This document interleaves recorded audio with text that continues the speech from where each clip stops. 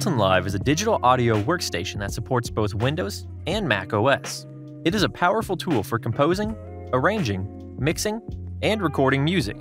If you want to start out a project in Ableton and you want to add vocals to your tracks, then here's a step by step tutorial to guide you through. First, you need to make sure that your microphone is connected to your computer. Or, if you're using a condenser microphone, then make sure it's connected to your audio interface input. Next, set your preferences in Ableton. Just click File, then select Preferences. Navigate to the Audio tab, then select Audio Input Device. Simply choose the name of the device you'll be using to record with.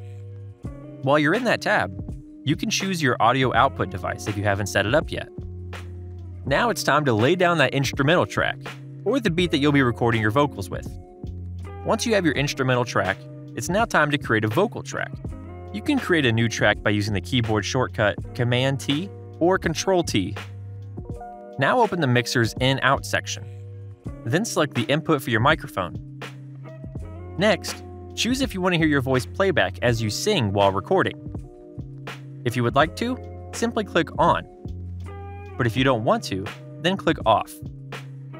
You can now record by clicking the circle or record button above.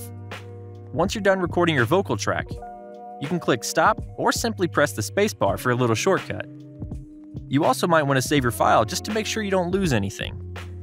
And now you can finish that song you've been working so hard on without any worries.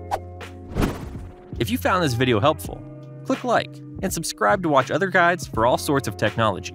And don't forget to check out one of these other videos we think you'll enjoy.